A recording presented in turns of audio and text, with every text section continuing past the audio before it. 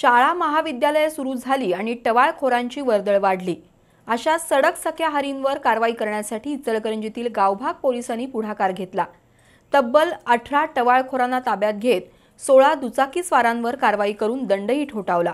पोलिसांच्या या धडक कारवाईचं इचलकरंजीतील नागरिकांनी स्वागत केलं. कोरोनामुळं दोन वर्ष शाळा महाविद्यालय परिसरात शुकशुकाट होता. आता मात्र शाळा महाविद्यालय सुरू झाली आणि रोड रोमिओ पुन्हा दिसू लागले. शाळा सुरू होण्याच्या आणि सुटण्याच्या वेळी विद्यार्थिनींची छेडछाड करणं कर्णकर्कश हॉर्न वाजवणं अशा प्रकारामुळं विद्यार्थिनींना त्रास होत होता. त्याबाबत तक्रारीही वाढल्या आहेत. या पार्श्वभूमीवर आज गावभाग पोलीस ठाण्याचे निरीक्षक राजू ताशीलदार यांनी टवाळखोरांविरोधात धडक मोहीम राबवली. शाळा महाविद्यालय सुरू होण्याच्या वेळेस पोलीस पोलिसांनी काही टवाळखोरांची धरपकड सुरू केली. दुचाकीवरून फिरणाऱ्या रोड रोमिओंना थांबवून चौकशी केली जात होती. काही विद्यार्थिनींनी पोलिसांसमोर टवाळखोरांकडून होणाऱ्या त्रासाचा पाढाच वाचला.